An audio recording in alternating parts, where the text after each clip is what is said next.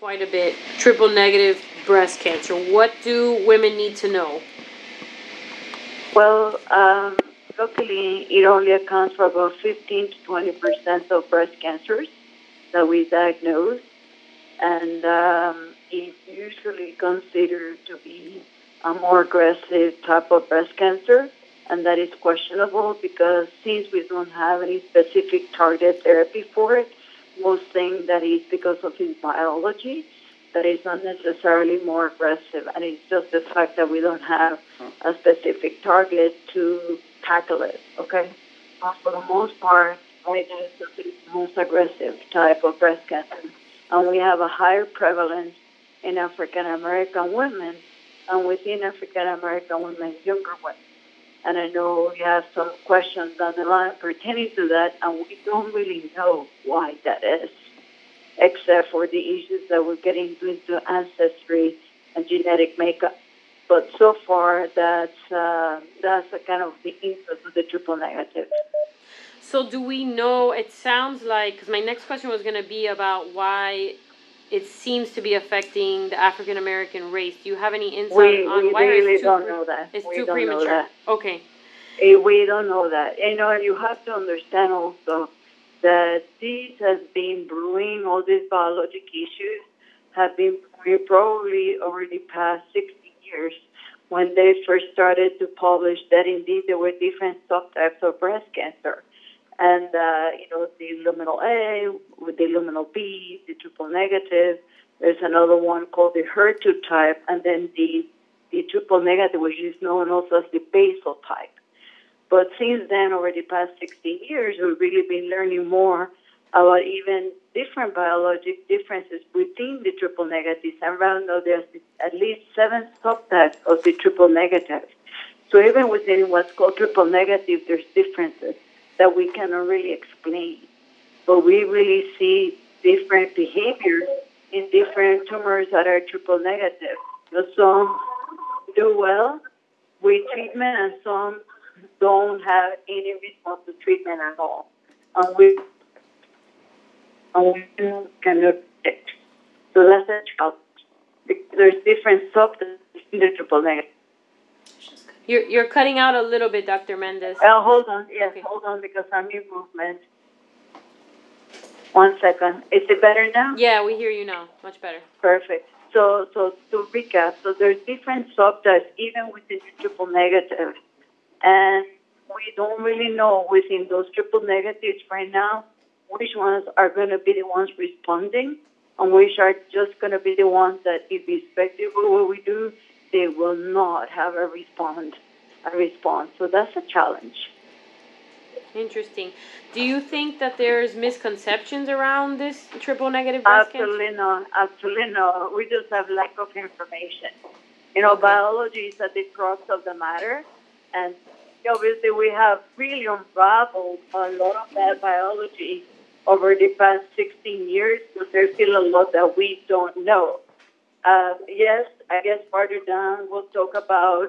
We know that there's an association between some of the BRCA1 mutations and, and triple negative breast cancer, and we try to see what is the mechanism of action in the BRCA gene to see if we can then find a target. You know, we try all sorts of different strategies to find that target, but today we don't have anything that we can offer for tons of research. So that's considered the holy grail to breast cancer, the triple negative. Do you think, um, you know, there's so many preventative measures, whether it's getting a mammogram, um, you know, things that you can do for even other types of cancers. Do you think that? Well, it, it is. It's all applicable the same. okay, You know, it's no different in terms of how you diagnose it, in terms of how you find it. There's nothing special to it. so the As same, the the same the thing. histology. So if there, if there's yeah. a woman that's at risk for triple negative breast cancer, Well, we, you cannot say that, you know, because it's not as if you're at risk for triple negative breast cancer. You know, African American women get uh, normal cancer too. They don't have Okay. to be triple negative. You know, so I think the point that to be made is that, you know, you cannot tell the difference on imaging. It's either triple negative or it's either you have tumor. You cannot say that this is sort of the level of what this does happen. So it- we have no way of knowing. So it's the same preventative measures, and it's not. Absolutely. Yeah. But, but this us in a very interesting issue because um, obviously most of the breast cancers are what we call hormonally sensitive. And they're responsive to the progesterone. Can you guys hear me? Yes. Okay, perfect. It's a little So, bit more muffled, but we can hear you. Okay, so it's hormonally sensitive. Most breast cancers are hormonally sensitive, okay?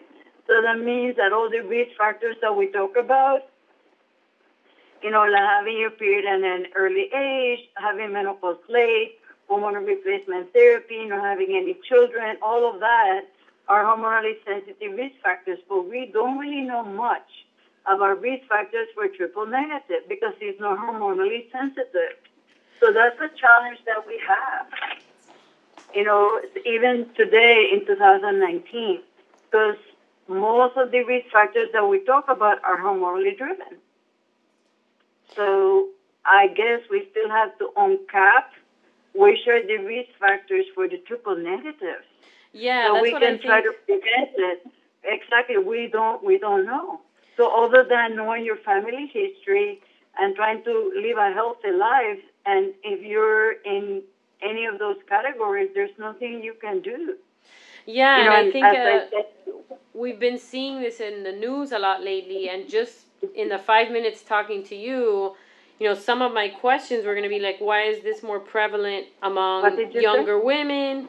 Or we're seeing a lot in the news of, of reasons why people think this could be more prevalent am, amongst different demographic, like Hispanic women, for example, or African American or Well, younger but- women. But But just you know, you know, there is reasons for that, and that is because there's been such an admixture of cultures and genetic pools over time. And if you take a look, it's really fascinating when you take a look at, you know, the slaves who came from Africa, different parts of Africa, who came to the Americas, who came to the States, et cetera, et cetera. All those genes are really admixed with other cultures, okay? And hence, you know, even in the mulatto population, you see a lot of the triple negatives, um, you know, because they've been admixed with the Hispanic genes you know so and then you some of those slaves came to the states and depending upon where you came from in africa it's the genetic pool that you have so it's all the mixing of genes over time Hmm. so it's fascinating it really is fascinating That is fascinating.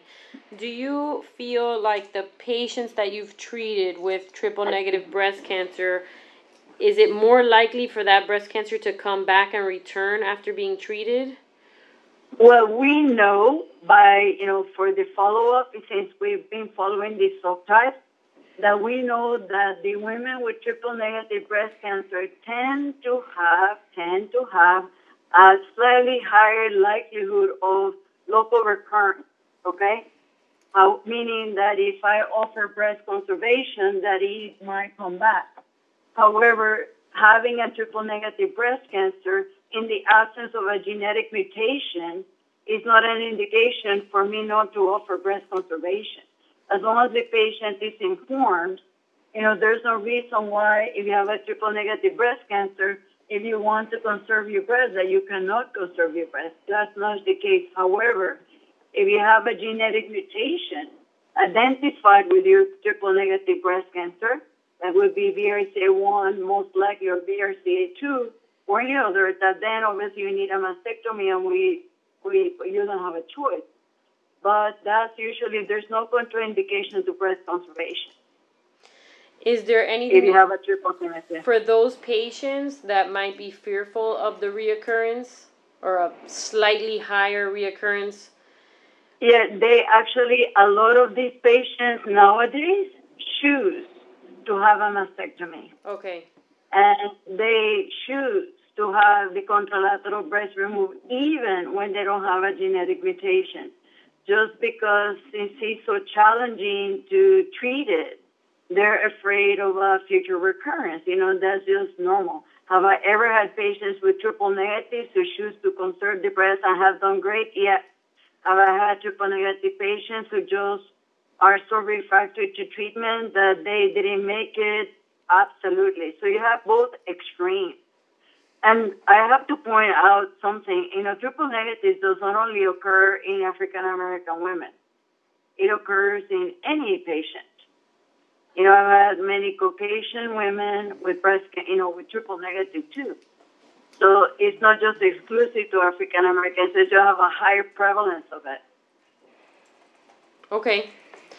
That makes sense. I'm going to open it up. I've asked you a lot of questions. Let me open it up and see if my colleagues here have additional. This is great insight, and I think as I read through some of the questions that the publications might ask, your insight is is almost kind of diving deeper into some of these misconceptions because I think we came in thinking a certain way and you've just identified some of these misconceptions and, and explained it in a way that, that makes a little bit more sense to the you know layman's terms. You know what? And What is uh, what is interesting from anybody's standpoint is okay. Is it really more aggressive, or as a lot of people will postulate, is it that we don't have a specific target because the HER2 tumors that account for another 15, 20% of breast cancers. Before we had the targeted therapy, those patients had even a worse outcome than the triple negative. But then, because of research, we now have a targeted therapy that has changed those patients' lives dramatically. So now they do great. Okay, so uh, we everybody's waiting for that what they call the bullet for the triple negative. You know, we've tried lots and lots of different strategies, and nothing has panned out. So I think perhaps this is the most fertile area of research in breast cancer because everybody wants to be the one to get the that perfect target for the triple negative because it affects so many women. Just to clarify some of our notes really quick, you mentioned earlier that this specific kind of breast cancer it, it is hormonally sensitive or is it not? It is not. It, it is, not. not. You know, by definition, you know, so again, there, when we um, diagnose breast cancer pathologically, there are three main receptors that we check for to help us better understand why might be the biology of that specific breast cancer. Because going back to basics, breast cancers are not all the same. So you can have an invasive ductal cancer, which is the one that starts in the ducts and that accounts for about 80% of breast cancers. And then you have the one that starts in the lobules that accounts for about 10 to 15% of breast cancers. And the rest are very, very, very minor subtypes. But within the ductal and the lobular, then it may be estrogen, progesterone, or HER2 positive or negative. And those are the three things that we check for. What are these receptors? Receptors, if you can imagine, are kind of little antenna that live like in the uh, outer wall or the outer membrane of the cancer cell. Some of those cancer cells have those antenna and some do not. When you have a triple negative, they don't have antenna for any of the three. And then when you're hormonally sensitive, you have antenna for the estrogen or the progesterone, human or female hormones. And then the third antenna that we check for is the HER2, which is an epithelial factor that if you have it, we also have a specific target for it, okay? So the triple negative, is the one that has none of the antenna, so it's on its own. And, uh, and that's they are defined at the pathologic levels. When they look at uh, under the microscope, they do special stains. So then they can give us as clinicians all of that information. So then we can make clinical decisions that really are individualized not only to the patient, but also to the tumor characteristics. So we can really talk about that tailored care that we talk about. That's what we talk about. How can we learn more about the biology so we can really offer something that targets the tumor cells that we're dealing with because not all breast cancers are the same. And this is more of that, the triple negative. This Did is, that help? Yes, this has been extremely helpful. Everybody's furiously taking notes. I think this is um, enough to gather, you know, some materials and insights to start putting some things together. Um, Gina, is there anything else that you want to add before we wrap up this piece? Uh, not on my end. I think Okay. everything was very complete and insightful. Thank Okay. you. Thank you. So, Dr. Mendez, if we can steal your time for five more minutes, I want to shift gears just a moment. You can have my time for any time you want. Okay, I'm done with you. now. So Yeah. we today have um, a reporter reached out to us from Everyday Health, and they're writing a story on genetic testing. Um, as you know, obviously we get inundated with requests as we lead into October. Um, Yeah. She had some. She's looking for experts that can provide their insight, and so we want to be able to respond to. So this is a media inquiry, um, and we will take some notes and send it back to the reporter. Okay. She's Okay. um, asking about um, the BRCA gene and what do some of these genes do and how do they impact breast cancer? So, Okay. So let me start from the basics. okay, Is that okay? that's fine. Yeah. So, well, so we have to put things in perspective. Remember, only 5% of women with breast cancer have a genetic mutation that is associated with their breast cancer. Most breast cancers occur sporadically, meaning that nobody has it in your family, you're the first one. 10% of women with breast cancer have a family history of some sort, but they don't have an identifiable mutation or gene or anything that we can target. Okay?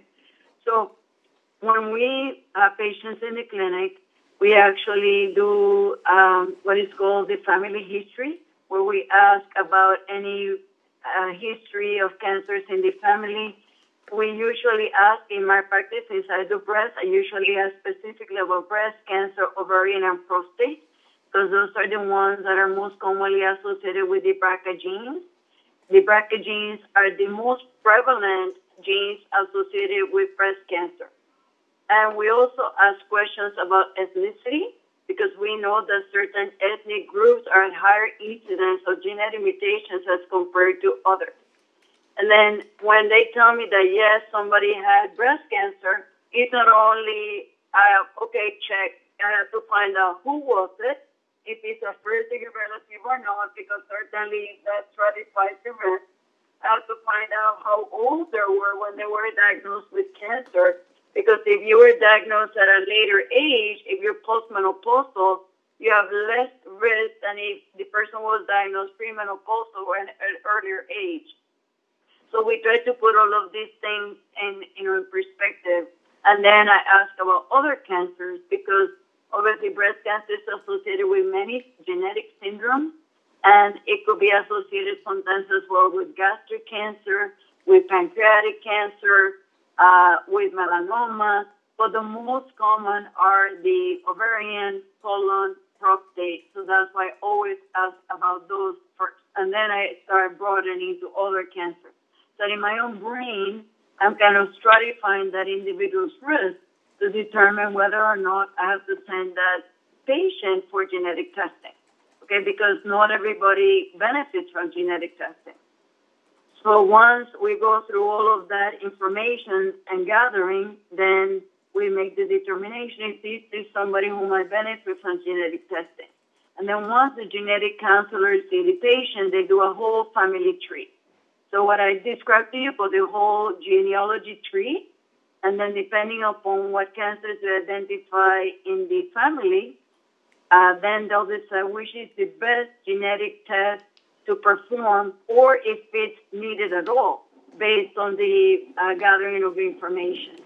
And if they decide that genetic testing is needed, then sometimes also now we not only test for BRCA1 and BRCA2, but now we have what are called genetic panels. So basically, from one blood test, sometimes we can check up to um, 70 genes, 120 genes, with a fraction of the cost that it was before to check for one gene. So it's really exploded. We have tons of options, but the genetic counselors are critical in helping decide, number one, who's going to benefit from testing, and once the answer is yes, what genetic panel is going to be the best one to answer the questions that we're looking for. Hmm. So the reporter also asked about other genes that might contribute. Yes. to impacting Yeah, breast cancer, and so she listed a bunch. the list the list is endless. You know, you know, P fifty three. Yeah. Um, see, uh, we have uh, P fifty three ATM a mutation. Uh, you know, the PTEN. PTEN mutation, Yeah. PTEN as well. You know, there's many. The list continues to grow. But most a caveat is that some of the genetic mutations are actionable and some are not. So when we do genetic testing, we have to find out which are the ones that are actionable. Because even if you have a mutation, if it's what's called a VUS or variant of unknown significance, we don't need to do anything. Okay, we just have to observe you, monitor you, but it's not actionable. And I've actually had some patients being sent in the past who they had a variant of unknown significance, and I had nothing to do for them. Hmm. To answer one of your other questions before, why is it important to know whether you have a gene or not? Because if it's actionable, then I'm going to need to talk to you about prophylactic surgery. And depending upon which is the gene that you have identified, prevention strategy. For example, somebody like Angelina Jolie. Her mother had ovarian cancer. She had the BRCA mutation. She elected to undergo prophylactic surgery for her breast and prophylactic surgery for her ovaries.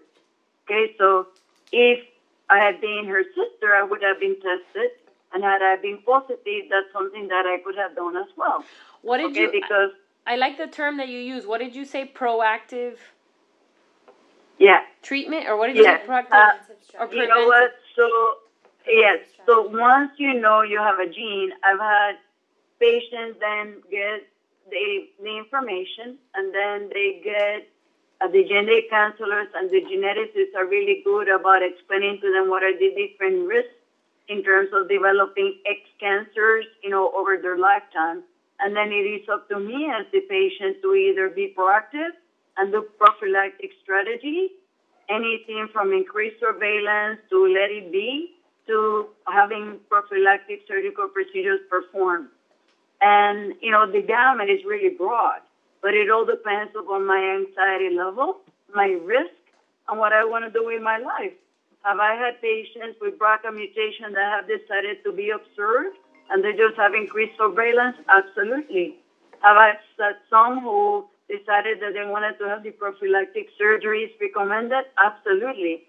And have I had patients who have decided not to share the information with their family, even though they're positive, so that then my sister doesn't know about it? I had that too. So it's really interesting.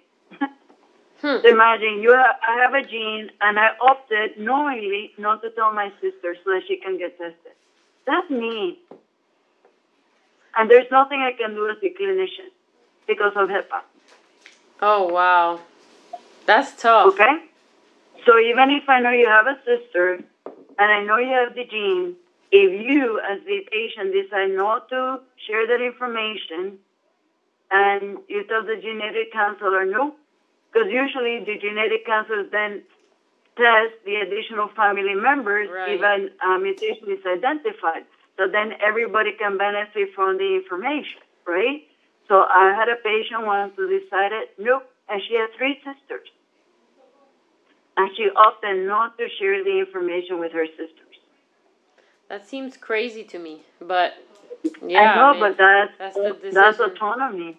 That's Yeah. autonomy, and that's HIPAA, and it's it's patient choice.